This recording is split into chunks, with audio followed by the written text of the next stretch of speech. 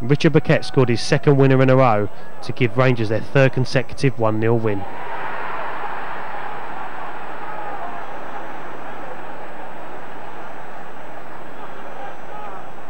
A very satisfying day down in Devon.